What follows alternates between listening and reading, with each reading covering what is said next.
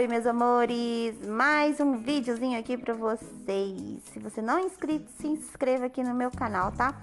Hoje a gente vai fazer uma make babada, uma make rosa, pink com um denilhado amarelo e um denilhado preto. São denilhados duplos.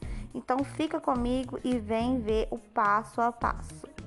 Então primeiro eu marquei ali, né, o, os pontos, três pontos, o meio da pálpebra e os cantinhos interno e externo. Depois eu venho ligando esses pontos e depois eu vou esfumar tudinho. É só para não ultrapassar o que eu não quero passar essa sombra. Então eu vim com esse pincel aí pequenininho e venho marcando, depois eu venho ligando os pontos e depois eu vou esfumar. Eu esqueci de falar que eu tô usando aquela paleta da Ludurana. Eu acho que é aquela primeira paleta grande que foi lançada, que tem vários tons de rosa. Gosto dela porque ela é bem pigmentada, né? Então não tenho mais o que falar. Vocês estão vendo aí no vídeo, né? E muito, muito fácil de esfumar, gente. É muito boa essa paleta. Não é publi, tá? É a verdade. Então eu peguei um outro pincel aí e esfumei, né? Então olha que simples e fácil. Agora eu peguei agora então um pincel é, língua de gato, porque eu gosto de fazer com ele, né? E eu tenho mais habilidade, mas quem não tem é só pegar um pincel para fazer denilhado mesmo. E eu vou pegar o corretivo, é como se eu estivesse apagando o, a sombra rosa, mas em formato de um denilhado. Então eu venho ali fazendo devagarzinho, com calma e vou fazendo essa marcação aí de um delineado com um corretivo. Entendeu? Um corretivo clarinho, porque depois desse, desse de eu ter fazido esse processo aí, eu vou vir com a sombra amarela. Vocês vão ver aí no vídeo, então vai assim super pigmentar. Mas lembrando que tem que fazer e você tem que espalhar esse corretivo, porque senão fica tudo grudado um lado só. Então, vocês vêm fazendo recorte do denilhado e depois você passa de novo, limpa o pincel, vai para tirar total excesso de corretivo ali. Já dá aí para ver no vídeo como que tá ficando bacana.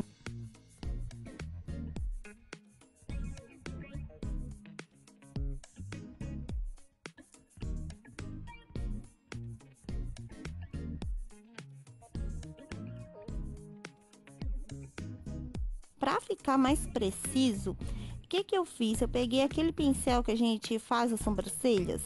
Então, eu peguei ele, um limpinho aqui, bonitinho que eu tenho.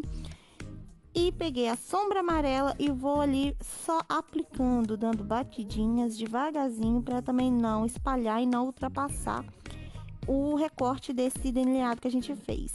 Vou dando batidinhas, é como se eu estivesse selando também aquele corretivo ali e dando uma pigmentação, uma outra cor.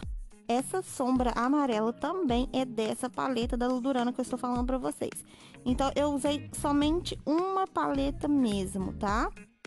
Depois que eu vim selando tudo, aí sim eu vou pegar o pincel, vou pegar mais sombra e vou mesmo só retocando, passando, só para dar mais pigmentação nessa cor. Mas com o mesmo pincel, a mesma coisa.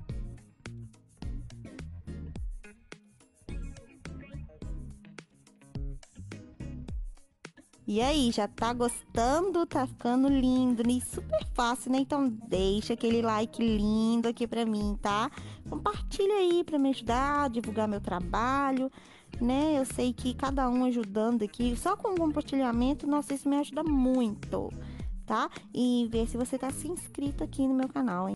Tô vendo, hein? Tô de olho, hein? Você tá aí assistindo os meus vídeos, mas não é inscrito no meu canal, hein? Dá um jeito. Então, agora eu peguei o pincel de novo, só pra ver se eu tiver ultrapassado um pouquinho essa cor amarela, eu venho com o pincel que eu tinha usado anterior, o rosinha, e vou dando uma varridinha ali, aí tudo fica certo, tudo fica legal, e olha que lindo, que bacana que ficou. Denilhado, eu fiz um denilhado mais fininho, preto, como eu faço todos nos vídeos, então eu não achei necessário de mostrar aqui pra vocês, mas é um delineado normal, tá? Lápis amarelo na linha d'água, tá? Depois eu vou pegar a sombrinha amarela também, a mesma que a gente usou, e vou passar pra baixo aí, ó, nos cílios embaixo, na pálpebra embaixo, tá? Depois eu venho com rosinha para dar uma transição legal.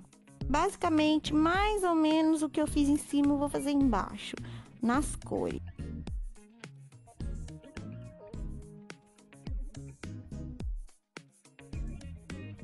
Esse pincel que eu estou usando é um pincel de esfumar também, mas ele é bem pequenininho, de detalhe, então eu consigo usar bem na área que eu quero usar mesmo.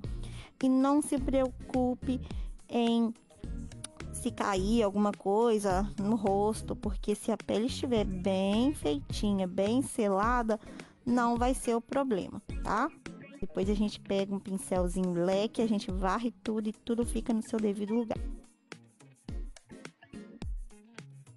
Olha que lindo que tá ficando. Tá vendo aí? A gente passa aí o pincelzinho, a gente retira tudo que caiu pra, né, ficar uma pele bonita.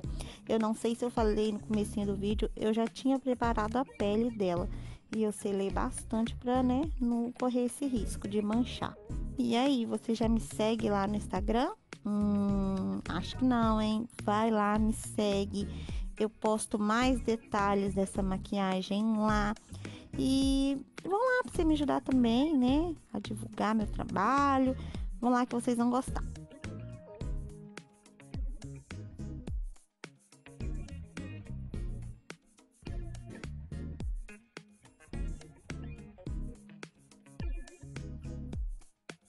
Aí, agora deu para ver direitinho, né? Que eu peguei, então, o a sombra amarela e fui passando ali embaixo. Se cair alguma coisa, vem com um pincelzinho, passo ali varrendo e tira tudo.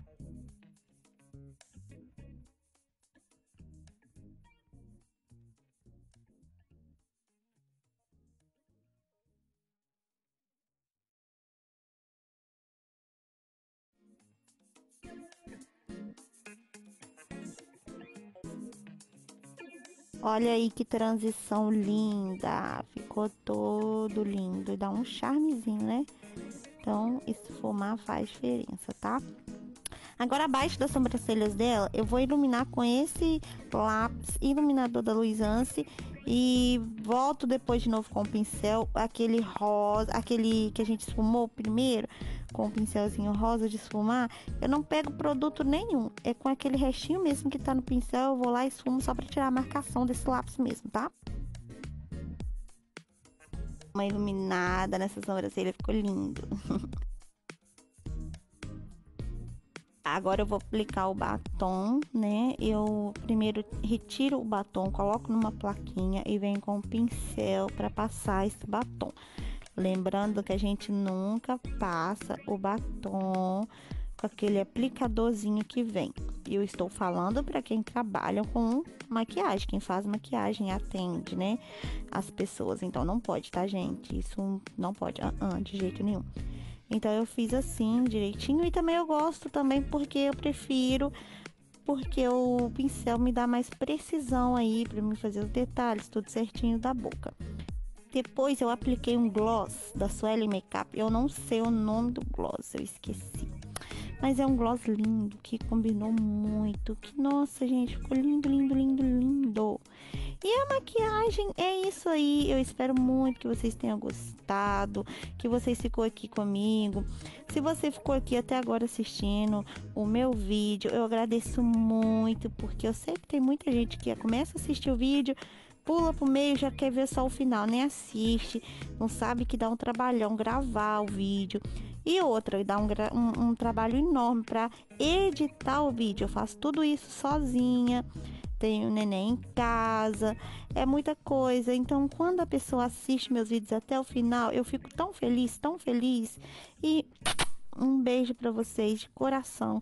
Espero muito, muito, muito que tenham gostado de verdade e reproduz, tá, gente? Que essa maquiagem ficou linda. E eu vou deixar aqui para vocês o close final dessa minha modelo, que ficou um arraso essa maquiagem, tá?